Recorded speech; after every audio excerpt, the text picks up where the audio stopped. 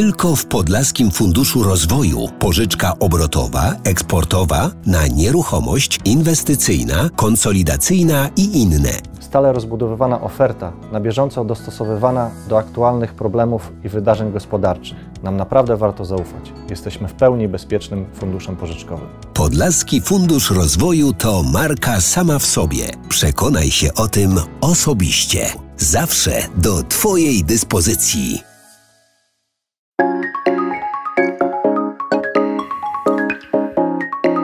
Tajemniczy MOW to w szerszej nazwie Miejski Obszar Funkcjonalny. Nowy twór, którego kreatorami nie tylko mogą, ale wręcz powinni zostać przede wszystkim mieszkańcy. I choć nazwa jest długa, zawiła i nawet trochę odstraszająca, to naprawdę warto się nad projektem pochylić, bo do 27 listopada samorządy miasta Suwałki i gminy Suwałki czekają na pomysły, sugestie, poprawki. To jest strategia rozwoju ponadlokalnego, zintegrowane inwestycje terytorialne, miejski obszar funkcjonalny i dotyczy to zwartego obszaru, tak naprawdę fizycznie, społecznie, czyli obszaru miasta, gminy i y, miasta i gminy Suwałki, czyli dwóch, dwóch jednostek administracyjnych, a cały ten projekt dotyczy realizacji y, szeregu w zamierzeniach naszych, szeregu inwestycji. Chcielibyśmy poprawiać funkcjonowanie i miasta i gminy na takich trzech podstawowych płaszczyznach, czyli gospodarka, społeczeństwo i ochrona środowiska.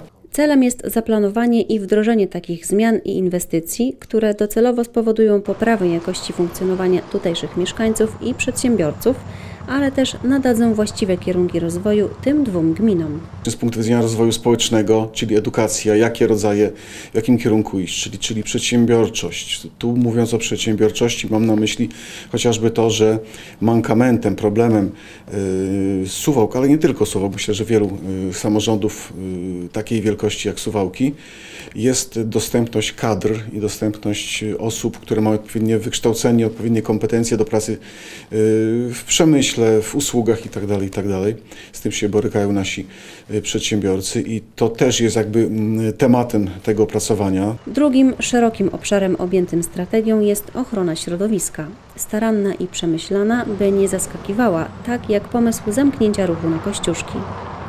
Jednym z elementów planu jest chociażby likwidacja wysp ciepła czy sprawa retencji wód opadowych. Mamy przecież problemy na terenie miasta przy bardzo dużych nawalnych deszczach z zalewaniem niektórych ulic.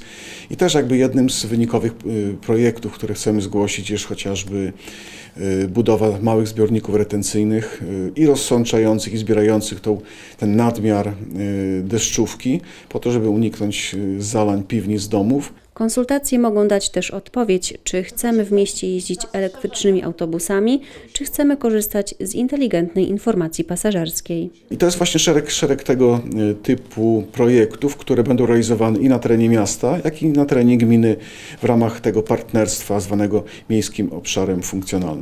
Dokumenty dostępne na internetowych stronach ratusza są bardzo obszerne i z pewnością trudno będzie znaleźć czas czy ochotę na analizę całości, ale wiceprezydent Krysa proponuje łatwiejszą ścieżkę.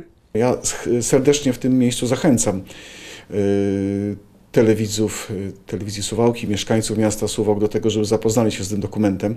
Nawet jeżeli on się wydałby y, obszerny, szeroki, nie chciałoby się czytać, to warto byłoby spojrzeć nawet po spisie treści, po pewnych, po, po agendzie tego dokumentu, y, na to, co nas konkretnie dotyczy, interesuje i nawet wycinkowo popatrzeć, bo być może będą tam takie zagadnienia, takie tematy, które dotykają tej codzienności funkcjonowania danej osoby bardzo liczymy y, przy tej okazji na takie chłodne spojrzenie z dystansu i ewentualnie zwrócenie nam uwagi na to, co można byłoby inaczej zaprojektować, co można byłoby inaczej opisać i y, może w projektach coś trzeba będzie zmienić, może o coś innego zawalczyć, o coś innego, czego nie zauważyliśmy, bo to też, też różnie może, może wyglądać. Wiadomo, że jak się pracuje przy takim projekcie, to człowiek troszkę traci y, to szerokie spektrum spojrzenia na, na, na, na zagadnienie, więc Serdecznie namawiam te konsultacje społeczne zarówno w formie elektronicznej, gdzie formularze y, do zgłaszania uwag są dostępne na stronie Urzędu Miasta i na BIP-ie Urzędu Miasta,